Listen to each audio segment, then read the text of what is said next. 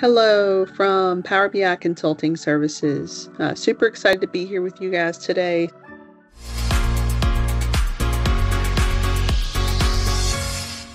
We put out a little poll where we ask you guys what sort of content do you want to hear about or learn more about? And in that poll, we've gotten about 70% of you guys saying you wanted to learn a little bit more about some tips and tricks or things you can do inside of the Power BI service or Power BI online. online. So, without further ado, I'm actually going to kind of take you through um, a little bit of that. Sort of what are some of the things you can do inside the service. But I'm going to start really quickly before I even pivot there to the actual Power BI desktop version. And I'm actually going to go under just general settings really quick because I think that's an important place to start, even though a lot of this we're going to show you that's actually capable inside of the service too. Um, so this is very much specific to the current report, which I think is important to the current file settings. And here are some really important filters that I think as you publish reports to the service are important and probably many of you guys know about, but let's go through it really quickly. So persistent filters don't allow end users to save filters on this file in the service. So oftentimes we get this question so much, hey, my report looks weird. What's going on with it? Um, all the numbers are off, you know, all sorts of questions from folks who are out here in the service. And I'll show you a little bit of an example of when that could happen, where they're basically filtering the report down. And when they filter that report down, it's defaulting those filters as their primary view when they go into the report going forward. So don't allow persistent filtering. Really straightforward. Strongly encourage if you've got filters inside of your report that you click this specifically if you're getting a lot of questions from your end users on why things aren't showing up the right way. And the reason is that they filtered the report down and they didn't reset to default to kind of see the report in its normalized state without filtering. So here, hide the visual header and reading view. So folks are in the reading view, do you want to hide the visual headers? Um, this one's default checked from from when I popped in here. Use the modern visual header with updated updated styling options. Change the default interaction from cross filtering to from cross highlighting to cross filtering. Um, so this will kind of just change how when you click a visual, is it going to highlight the display across the other bar charts and graphs in the visual, or is it going to just dynamically cross filter? This is another one we get asked a lot. How do we prevent end users from exporting any data from the service? We don't want folks to be able to consume the underlying data. And this is exactly where you define that. So, depending on what you want the export functionality to be for your reports, you can dictate dictate that right here. Uh, so again, filter pane. So do you want folks to actually see your filter pane? So hopefully my arrow is displaying here on screen, but this filter pane where you're defining some filters inside of this report, maybe it's you only want to see the last five years of data, so you default it inside this filter pane. Do you want folks to have access to that? And or change things inside of the filter pane too. So just what's that filtering experience look like here where you're applying generally in this filters pane, you're applying specific criteria or business rules. Do you want that to be visible uh, to your end users? So cross report drill through, allow visuals in this report to use the drill through targets from other reports. So do you want that functionality to be added inside of the report as well? A couple of tooltip integrations and summarization functions as well, and then some query limits. So do you want to kind of restrict the amount of sort of functionality available. So visual queries have different timeout memory limits. Uh, specifically in the service, one of the things we found is that you can see those things start to, I won't say clunk out, um, but definitely it can. And so do you want to kind of limit the sort of querying simulations and functionality inside of this report as you're kind of using it in the service. Um, there are things that we kind of do here. Uh, for example, if we do see that happening, you know, are there any things we can do inside of the model to help uh, end users sort of continue to view the reports in the service, or do we need to upgrade this to a premium capacity uh, workspace so that any re- so that this report who may have like lots of complex logic or query requirements associated with it can still be displayed and viewed uh, online for your end users. And so, generally, uh, premium capacity for that particular workspace where these heavy compute reports are will be the most beneficial way to do things. All right, so there's just a general way to kind of go through some of the settings inside of desktop. Now I've pulled this report up uh, here on screen and you will see that I'm going to actually take you guys through some just general functions here inside of the service that I think are helpful um, for folks who are coming out here just to consume or view your reports. So, uh, just a couple of things. You can share the report here. So, you can define those settings here where you say um, anyone with a specific uh, specific people can access it, anyone inside of your organization, or people who have existing access to this workspace can view it too. And then you have a final setting here allow recipients to build content with this associated report. So even if you don't allow folks to export the data from these visuals uh, and export the data so that they can kind of consume or use it throughout various other reports, uh, you can allow users to potentially build their own content off of it. So here it gives you a little bit of detail on on that, as well as just sharing capacity of, of this particular report. So this is sitting inside of a workspace. As you can see, it's called this YouTube Analytics workspace. And so in this case, I'm actually sharing the individual report itself through a link, and you can define who's going to get access to that here. And you can just copy that link and send it off to anyone who is inside your organization that you want to grant access to the report as well. So here gives you, if you're sort of a haven't given the ability, right? So I'm a, an admin of this workspace, so have full capacity. You can download the reports here. You can manage permissions, and you can have the ability to kind of determine where this report gets embedded or used. Um, these things aren't the most important, but I'm going to go into the settings section, which I do believe is important. It does give you the ability to kind of select the endorsement. So depending on you know what level of scrutiny this reporting environment and or this report's been given, you can kind of define that um, here. So if it's a certified report, you know it's really kind of met um, some really high standards as it relates to how you define viewing and showing reports in your organization. You guys can define that here and kind of um, you can learn a little bit more about this as well too. But again, help coworkers find your quality content by endorsing this report. So if it's been through a bit of rigor, uh, I'd say if you're kind of testing or playing around and you don't want to kind of set uh, this as any sort of particular endorsement type, you can keep it on none. Right there's uh, that's sort of the default that it sits on. But if you're doing enterprise reporting and you want to give folks a level of um, a level of confidence in what's been done. You can help define that by these endorsement levels. Uh, so again, you can kind of see here uh, some of the same exact criteria that we would have shown you in that desktop version. So don't allow users to save their filters.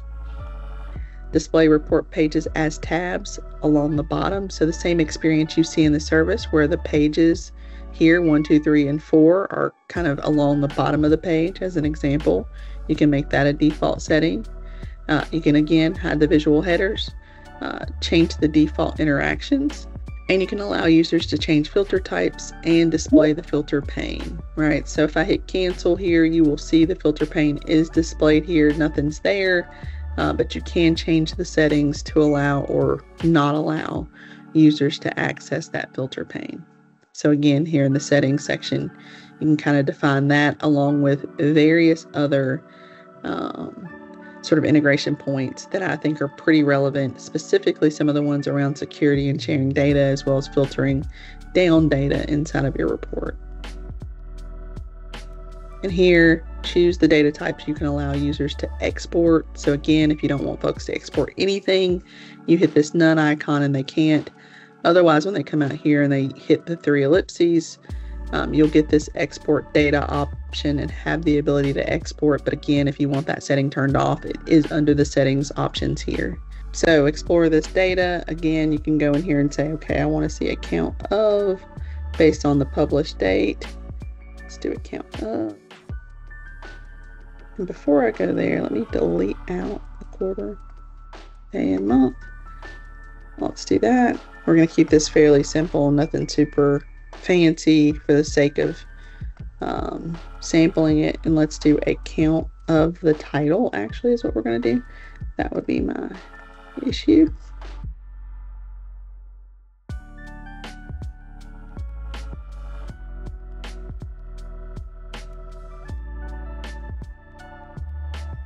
All right.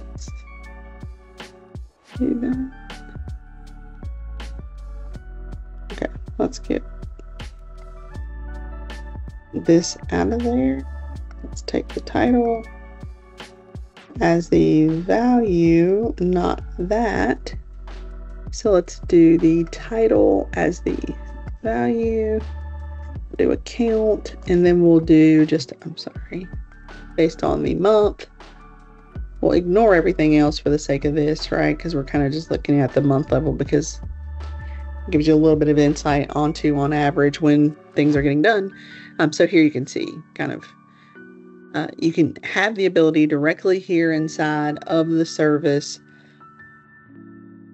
to visualize your data and or save these changes if you want right so pretty cool function directly inside the report if there are certain views that you want to see that aren't visibly displayed inside the report you can go in and you can add those into the report and or just explore the data and get some additional insights from it that way. Next get insights. So very similar. It does a lot with trending. So on this page it's just a happenstance and i'm on a page that has quite a bit of um, sort of trending integration here. And you can kind of see that it's giving you just some insights and or uh, key anomalies associated with your data.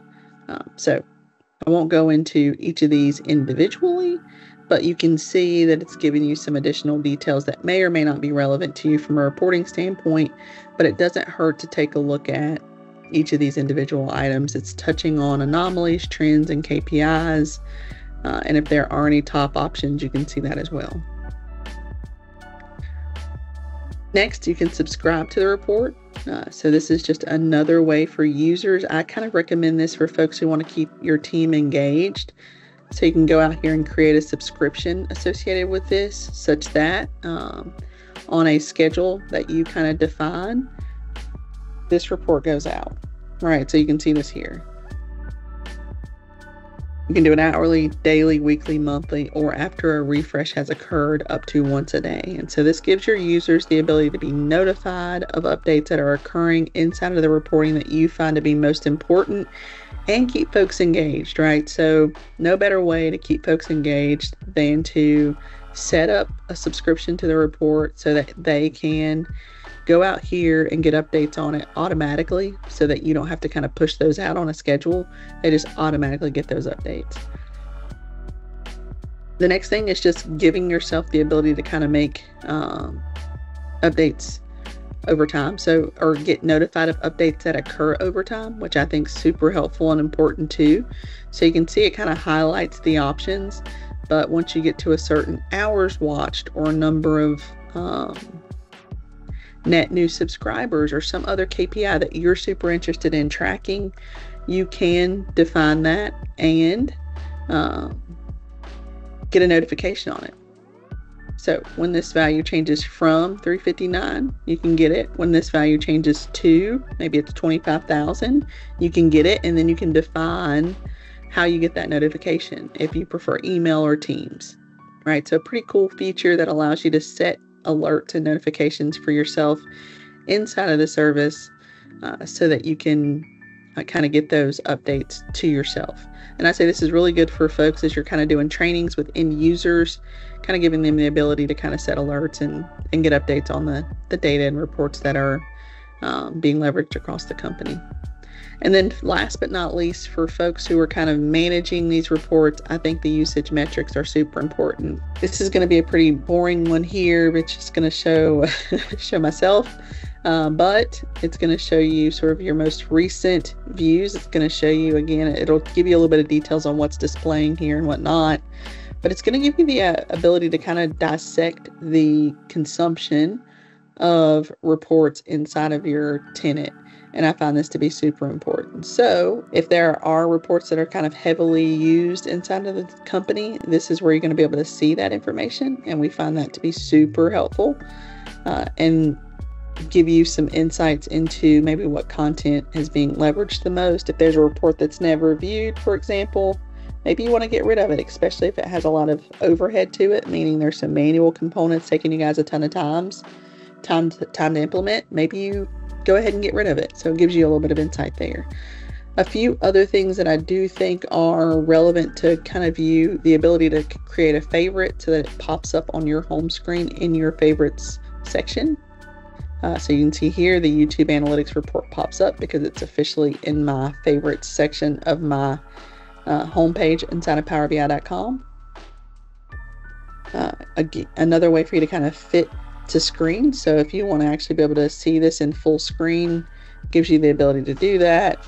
If there are other functions that you want to so fit to width as an example and then any other sort of settings you want um, here you can right? So high contrast if you want to change the contrast of your report it gives you the ability and kind of the function to to do that as well all right and then commenting you're also able to add comments inside of here as well so that other folks and users in this reporting environment can kind of see those. So maybe you have questions or feedback or you you know want a, an enhancement you can put that comment in here and that will will kind of persist through as well.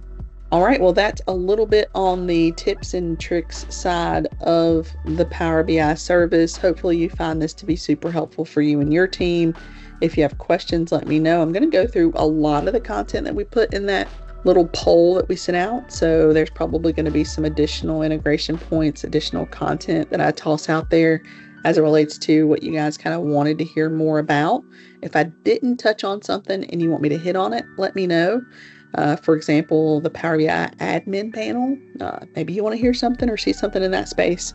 Whatever it might be, just give us a shout. Let us know in the comments. Subscribe to the channel. And as always, thank you guys for continuing to watch and consume our content. Uh, looking forward to the next session, and we will talk to you soon.